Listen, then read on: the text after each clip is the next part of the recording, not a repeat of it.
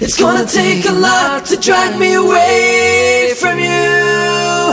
There's nothing that a hundred men or more could ever do. I bless the rains down in Africa. Gonna take some time to do the things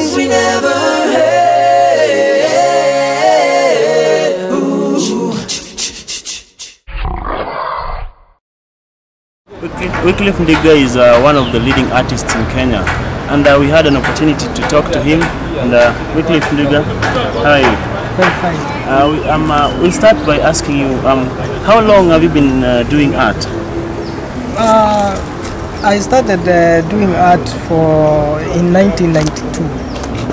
Actually, that the time I started uh, becoming interested in art. Uh, before that, I was uh, employed as a, a waiter. Yeah. I'd worked uh, in various hotels here in Nairobi. And uh, as I was working, then uh, I was my heart always urged me to paint because I felt painting is What you good. want to do, yeah, yeah. I want to express my Your my feeling. inner inner mind. Okay. So in 1992, I started painting. Okay.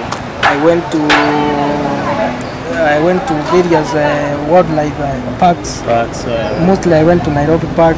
yeah. That's where I started going, watching animals, uh, lions, uh, cheetahs, and I was very much interested. So after that, I started now uh, painting. I went, I bought colors, canvases, brushes. Then I start painting.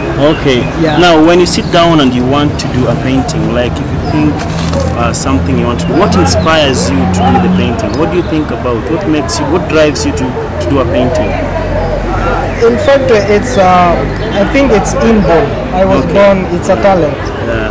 yeah since i was a kid i always liked to to do something uh, when i see something I, I would like to look in uh, more detail Detailed. Yeah. yeah and that's when uh, i could even try to paint try to mold uh, where i could uh, play around with uh, mud trying to mold people animals that's uh, something make me inside and i was unable to express it to the to the world Okay, Ndwiga. Let me ask you, do you have a family? Sure i have a family Okay. i'm married Uh-huh. uh, with three kids Three kids. two boys one boys. girl Are they following the father's footsteps? Are they interested sure in art themselves? sure they are into, whenever anytime i'm painting they are always there looking how i'm painting uh, in fact my firstborn and the second uh, girl they are trying to paint paint that way and uh, uh, as they continue with learning with education eventually they will become artists Okay. yeah and also i would like in future to also to have a, a place where i could teach art Okay, okay. Yeah. Like an art institution of some yeah sort. yeah Okay. You've been painting for some quite some time right now. Sure. And uh, along the way, I'm sure you've you've had a lot of hurdles, a lot of hiccups. What are the some of the challenges you face when you go through your work? There are many. Uh, one we can say it's lack of market. Lack of market. Yeah, especially I mean uh, art is some kind of fine art. Mostly is a kind of uh, uh, neglected. The, we have planned to, to to talk to governments, at least to take keen on uh, fine art. Okay. You know, because art expresses the country uh, culture. Okay. You can sing, you can uh, draw, you can model. That explains the country, the culture of the country. Okay. But the but the, the government seems to relax on uh, such side. So that's that's one of the main challenges. The second challenge is uh, marketing.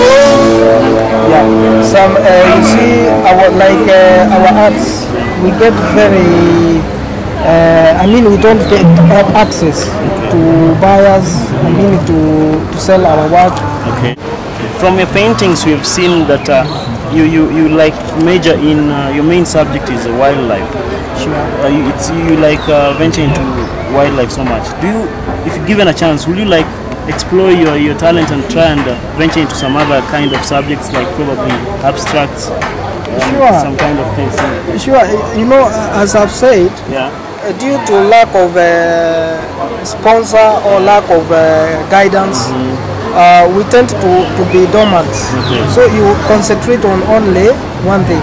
But if you we, we have kind of somebody, maybe somebody or the government to expand your your talent, I can venture in all kinds of abstracts, all kind of art, even modern art, the, the, day-to-day life, like the way people are suffering, the way people are doing, it's, it's still art, and this is also the best.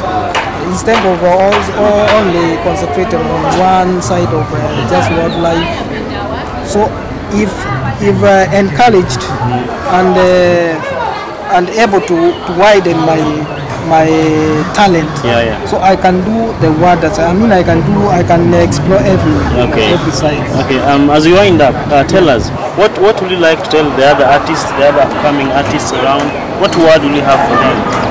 Uh, I would urge them to continue working, I mean to continue painting, to explore more on art because art is indefinite. Yeah. Yeah. So if you know you have a talent, it's only it, it's not only art. Yeah, you, you might be a singer, you might be a carver. You know, if you feel you have a talent and you need to exploit it, do it. do it. Just don't give up. Continue.